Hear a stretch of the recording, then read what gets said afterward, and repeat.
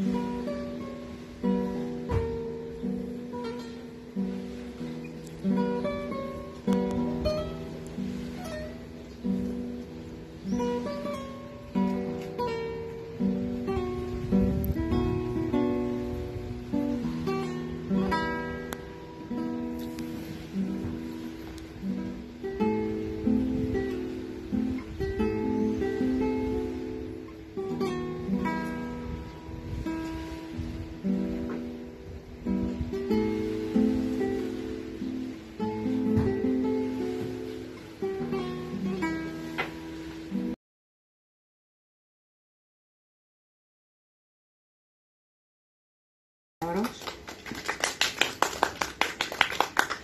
Ακούσατε το Σατί Γνώσινες. Είναι η πρώτη από τις 7 συνθέσεις του Σατί που έγραψε το 1890 και προέρχεται από τη λέξη γνώση ή γνωσός. Ο τίτλος. Εγώ είμαι η Βυσσακιά Μαριαλένα, συγγραφέας σπίτρια. Χαίρομαι που είσαστε εδώ, έστω και λίγοι. Ο στόχος ήταν ε, να γίνει κάτι εκτός εθνών. Συνήθως όλα αυτά λαβαίνουν χώρα σε μεγάλες πόλεις και σε μεγάλα κέντρα. Και ο κόσμος που είναι εκτός, παραμένει εκτός. Έχω ζήσει πολλά χρόνια σε νησί και, σε, και στη Χαλκίδα και στην Κρήτη και στη Σκύρο. Και πάντα είχα ένα παράπονο. Γιατί κανείς δεν μας θυμάται να έρθει. Τέλος πάντων, ε, θεώρησα μια πολύ καλή ιδέα να το συνδυάσω με τις διακοπές ε, θα σας μιλήσω για δύο βιβλία. Το πρώτο που θα μιλήσουμε είναι η σκιά της μάνας, είναι νουβέλα. Και θα σας διαβάσω, αυτό είναι το άβολο για μένα, το ότι πρέπει να διαβάσω κριτικές άλλων που δεν είναι εδώ φυσικά ως ομιλητές οι ίδιοι, οπότε θα πρέπει να το κάνω και αυτό εγώ. Θα προσπαθήσω να αποστασιοποιηθώ λίγο από το κείμενο και απλά να διαβάσω το κείμενο. Γράφει ο Δημήτρης Φιλελές, είναι συγγραφέας, έχει σπουδάσει στην παιδαγωγική του Μαρασλίου, δάσκαλος και γράφει για τη σκιά της μάνας. Ιστορία ζωής με καταιγιστική αλληλοφάνεια. Ύστερα από την ανάγνωση των λίγων αντίπρολόγου σελίδων, προκύπτουν τρεις σημαντικές διαπιστώσεις. Πρώτον, πρόκειται για μια εξιστόρηση που ακολουθεί σε γενικές γραμμές την αφηγηματική ροή της κυκλικής παπαδιαματικής γραφής. Η γλώσσα γραφής είναι λιτή, κατανοητή, καθημερινή, με ζωηρούς φυσικούς διαλόγους, χωρίς περιτολογίες ή λεξικές ακροβασίες για εντυπωσιασμό. Τρίτον, η φράση «γράψτα» είναι το κλειδί της υπόθεσης, η προαναγγελία της εξομολόγησης και της κατάθεσης ψυχής που φέρνει τη λύτρωση. Από το σημείο αυτό και μετά ξεκινά το ψυχογράφημα μιας γυναίκας, στην πιο κρίσιμη ίσως περίοδο της ζωής της, από τη μέρα που αποφασίζει να μετατρέψει την ερωτική της σχέση σε γάμο, αλλά και να συνδυάσει ένα κοινωνικό συμβόλαιο με την απόκτηση παιδιών, ώστε να φτάσει σε μια κατάσταση που ορίζεται κατά τη γνώμη της ως οικογένεια. Από την πρώτη στιγμή είναι ορατό ότι η απόσταση από την επιθυμία μέχρι την πραγματικότητα, σε αντίθεση με ό,τι έχει φανταστεί η ηρωίδα μας, είναι όχι μόνο πολύ μεγαλύτερη, αλλά και ο δρόμος που οδηγεί ως εκεί είναι διάσπαρτος με εμπόδια, με απρόπτα, με ανατροπές, με παρεκτροπές, με ανεπιθύμητες σωματικές και ψυχικές παρενέργειες χωρίς να υπάρχει βεβαιότητα της επίτευξης του τελικού στόχου. Η συγγραφέα με δεξιοτεχνία διατηρεί μόνιμα τη Δάφνη στο προσκήνιο, δείχνοντας με σαφήνεια ότι όσοι βρίσκονται δίπλα της, όπως ο σύζυγος Δαβίδ, ή γύρω της, όπως η Κέτη, η Μαριάνθη και η Κατερίνα, είναι δορυφόροι της, φορδι... της φοβρής μητρικής της επιθυμίας. Υποκύπτουν στις αποφάσεις που εκείνη παίρνει ή με τον τρόπο της οδηγεί να πάρουν οι άλλοι κάτι που η ίδια θα αργήσει πολύ να συνειδητοποιήσει. Και απλά εξαναγκάζονται να τη συνδράμουν τόσο στις κορυφώσεις όσο και στις πτώσεις της. Σαν αόρατη διευθύντρια ορχήστρα συναισθημάτων η Δησακιά, χαράζει με σταθερά βήματα την πορεία των χαρακτήρων της, καθώς αυτοί αναζητούν έξοδο διαφυγής από την αδιόξυνη και πνιγυρή πνευματικότητα. Και ενώ πολλές φορές είναι πεπισμένοι ότι κατευθύνονται προς το φως όλο και πιο βαθιά, οδεύουν προς το σκοτάδι. Είναι άραγε κάποια ψήγματα προσωρινής ευτυχίας αρκετά ώστε να αφιερώσουμε σε αυτά μια ολόκληρη ζωή, δηλώνοντας παρέτηση από κάθε άλλη χαρά της ζωής. Και αν μια επιθυμία μας γίνει σκοπός της δικής μας ζωής, έχουμε το δικαίωμα να κλοπήσουμε σε αυτήν όσους τύχει να δέσουν τη ζωή τους με τη δική μας. Μέσα από τέτοιες επιλογές η ζωή γίνεται ένας στενός μονόδρομος, χωρίς συνοδοιπόρους. Η πορεία γίνεται μοναχική και αποκλειστική ευθύνη της πρωταγωνίστριας. Οι απώλειες, ακατανόητες αρχικά, είναι σημαντικές, όχι μόνο σε πλήθος, αλλά και σε ψυχικό κόστος. Η ηρωίδα παραδομένη στην τυφλή επιθυμία, αδυνατή να αποδεχτεί τις αρνητικές συνέπειες των ενεργειών της, να προβλέψει τις πιθανές εξελίξεις σε βάθος χρόνου, αδυνατή ή αδιαφορεί να κατανοήσει τη στάση των άλλων και με σφαλερή ή θολή κρίση τους καταλογίζει αυθαίρετα ευθύνες που δεν τους αναλογούν. Ωστόσο, πρόκειται εξ αρχής για ένα τραγικό πρόσωπο, αφού είναι προφανές ότι τα κίνητρά της και άγαθά είναι και εντός των κοινωνικών προδιαγραφών κινούνται. Πόσα αποθέματα δυνάμεων μπορεί να διαθέτει ένας άνθρωπος όταν συνειδητοποιήσει ότι είναι θύμα των επιλογών του.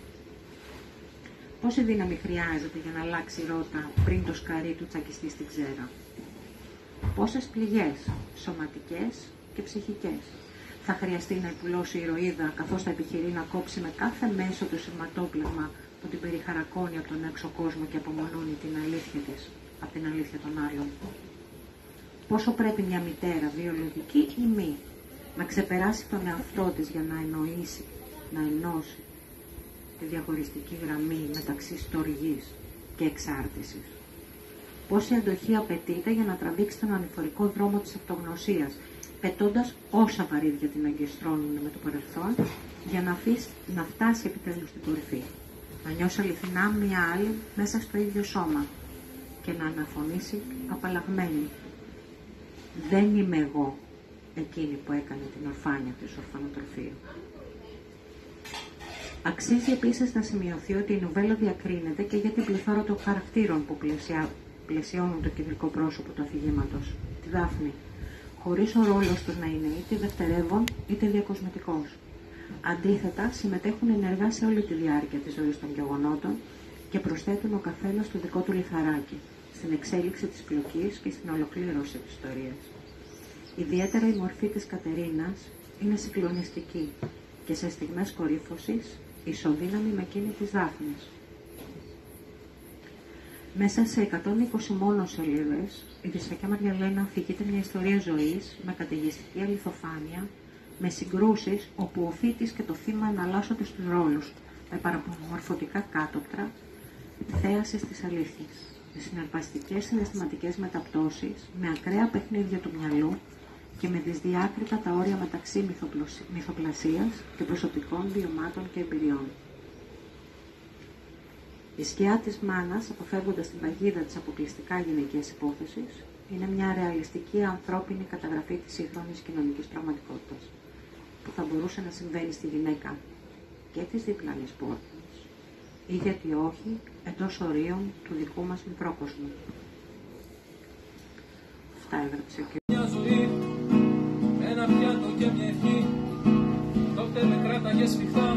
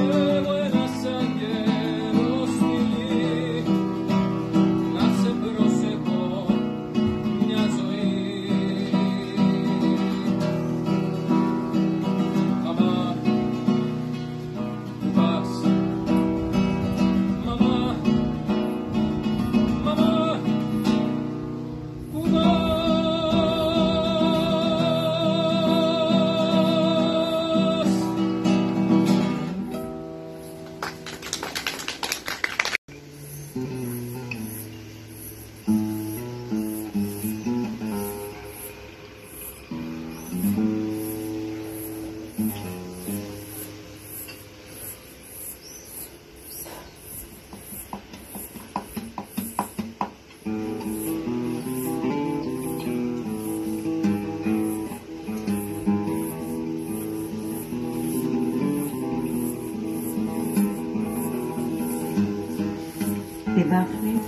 Όσο κι αν ήταν πια απεσιόδοξη, σε λίγες μέρες ήταν και πάλι έξω από την πόρτα της εισαγγελίας. Την είχαν καλέσει να περάσει, να την ενημερώσω. Περίμενε τη σειρά της. Έβγαλε ένα σημειωματάριο από την τσάντα της και άρχισε να γράφει. Γράμμα για σένα.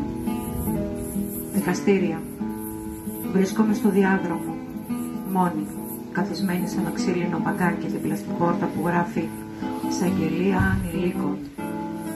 Είμαι εδώ πάλι για σένα. Πρέπει να μπω με θάρρος, ελπίδα και την αλήθεια μου.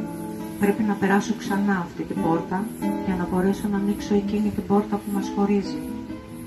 Αυτή του Ιδρύματος. Πρέπει να πολεμήσω ξανά, να σε διεκδικήσω, με κάθε γαμημένο κόστος. Να ανοίξω την πόρτα της ζωής σου, της ζωής που σου αξίζει, τη ζωή που αξίζει σε κάθε παιδί, σε κάθε ανθρώπινο όν. Χωρίς μοναξιά, εγκατάλειψη και δάκρυα. Με εφόδια για το αύριο, με φτερά γερά για να πετάξεις, Τώρα είσαι εκεί, μέσα, έγκλειστος. Τι έγκλημα έκανες άραγε και σε πήραν από την αγκαλιά μου αναρωτιέμαι. Ένα γράμμα για σένα, μικρέ μου πειρατή. Άδειασε η ψυχή μου, μικρέ μου, μωρό μου όμορφο. Άδειασε το σπίτι μας, τα χέρια μου πονάνε από την έλλειψη του αγγίγματός σου. Είμαι πάλι έξω από τη διαολεμένη πόρτα και περιμένω. Περιμένω να μου πούν πότε θα σε δω, πότε θα σε πάρω σπίτι μας. Φοβάμαι, φοβάμαι πολύ.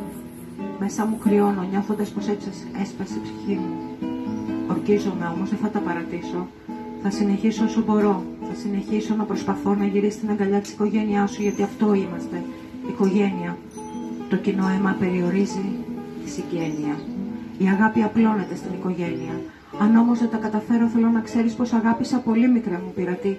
Σκέφτομαι πως ίσως μετά από χρόνια ψάξεις τη μάνα σου. Αυτή τη βιολογική, όπως τα περισσότερα παιδιά κάνουν όταν βρεθούν σε παρόμοια θέση. Μέσα σε κάποιο φάκελο, πάνω σε κάποιο δικόγραφο, το όνομά μου θα είναι εκεί. Θα σε αγκαλιάσει. Θα τα αγκαλιάσει το βλέμμα σου, αλλά δεν θα ξέρεις. Είσαι τόσο μικρούλης, τόσο μόνος και τόσο μακριά μου. Δεν αντέχω, αιμορραγώ μέρες τώρα, όμως θα συνεχίσω. Θα πολεμήσω. Δεν θα αφήσω τον πόλεμο. Έχω την εισαγγελία με το μέρο μου. Θα δεις τσάμπα τις γράφω αυτές τις γραμμές. Σύντομα θα σε έχω πάλι στην αγκαλιά μου. Και αυτό το μπλοκ θα το κάψω. Να πάει στο διάβολο μαζί με τους καρακλοκέντρου που σε κρατάνε σε ένα ψυχρό ίδρυμα. Κάνει υπομονή, μικρέ μου πειρατή, θα έρθω. Ακολουθώ την παροδίστικη μυρωδιά σου. Συνεχίζω.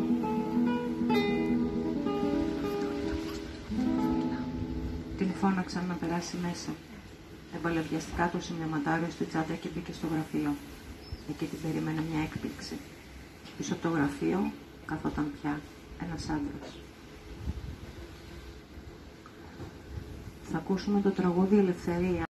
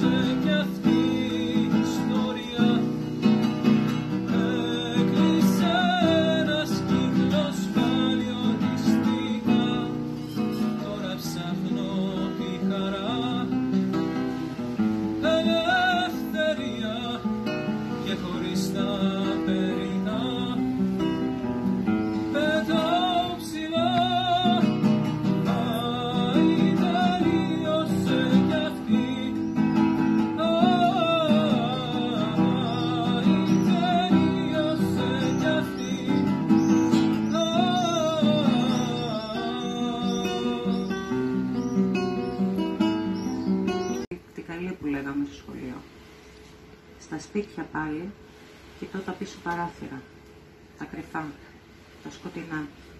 Εκεί χαζεύει η αλήθεια τους, με ραχάτι, στην αθέατη πλευρά. Οι κάμαρες με τους κρυφούς αγμούς και τους λιγμούς, κρυμμένους κάτω από βρώμικα στεντόνια. Τα προστατευμένα παιδικά δωμάτια που το φωτάκι νυχτός σκεπάζει τους φόβους, κρύβοντας κάτω από το κρεβάτι το μίσος της κόρης για τη μάνα, σε μια ξαμαλιασμένη κούκλα, δίχως πόδια και τυφλή. Τα εφηβικά δωμάτια με ανοιχτά τα φώτα ως το ξημέρωμα και τις όποιες επαναστατικές αφήσεις στους μαύρους τοίχους, τη δυνατή μουσική να μην χτυπάνε τα πρέπει στα μιλίκια του αύριο. Εκεί, στα πίσω δωμάτια του φωταγωγού, τα παράθυρα ρέων, ίστατες ανάσες. Η ζωή σποκύλησε, ποτάμι, ψάχνοντας μαζί του ξύλο, πέτρα, άνεμο και κάτι σκουριασμένα στρατιωτάκια.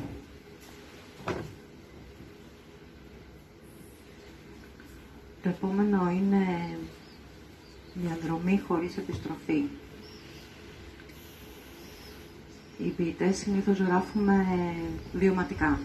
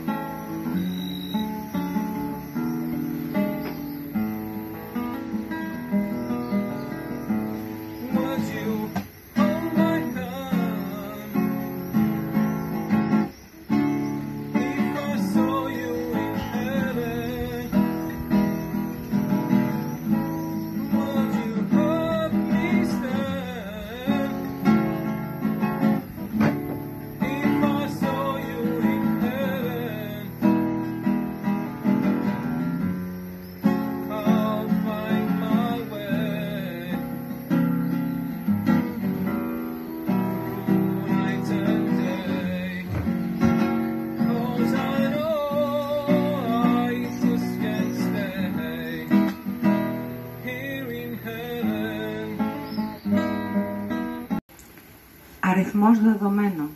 Αριθμός μητρώου. Ευγνώμων αν το νούμερο είναι του λογαριασμού σου και μάλιστα μεγάλο. Χαίστηκα και για τα λεφτά, παρομοίως και για τη φήμη. Αν είναι στα πρώτα νούμερο της λίστας, δεν είχε νούμερο η γέννησή μου. Δεν είχε νούμερο το μητρό μου. Είχε όμως μάνα. Μάνα νούμερο ένα, βιολογική. Μάνα νούμερο 2 φετή. Μάνα νούμερο 3 ηλικία μικρότερη από μένα. Μάνα νούμερο 4 αυξάνεστε και πληθύνεστε. Πατέρας ένας. Θήτης. Νούμερο 1 τέταρτο της νύχτας. Πετώ από το πιο ψηλό κτίριο. Αριθμός οδού 17. Ορόφου 15. Με ξαπλώνουν σε σακούλα. Πτώμα ψυγείου νούμερο 19. Τα φύσα αναμονή αριθμός 19. Να το πάλι το νούμερο 19. Ένας αριθμός πάλι αλλάζει. Αγνώστων στοιχείων πόνος. Νούμερο 39. Ας τα μαζέψουμε λοιπόν ό,τι ακούσαμε και ό,τι διαβάσαμε απόψε στα κουτάκια μου. Πάλι τακτοποιώ τα κουτάκια μου. Ζόρι ήταν ανθεματισμένα. Κι εγώ εκεί. Να πρέπει να χωρέσω. Αδικίες, προδοσίες, χαμόγελα με δάκρυα μου σκεμμένα. Ένα-ένα τα τραβάω και τα σκεπάζω. Τα κουμπώνω, τα χαϊδεύω. Ανοίγω το ντουλάπι των αναμνήσεων, τα τοποθετώ στη σειρά. Αυτό καίει. Το άλλο είναι μπλε. Έχω και ένα σε χρώμα φράουλας με γεύση ξινής κρέμας. Επαναπροσδιορισμός θέσεων. Και πάμε πάλι από την αρχή. Και πάλι. Θέλει λουκέτο η ψυχή των κουτιών, να μην πηγαίνει από γουστάρι. Τρέχει η λάβα. Φτάνει για απόψε. Ένα μπουκάλι κερδίσινο που μένει μισό. Το πακέτο άδειασε. Ρουφάω την απογοήτευση χωρίς να χορταίνουν τα χρόνια. Τέλος συζήτησης. Γράψτε μήνυμα. Wind of Change. Scorpios.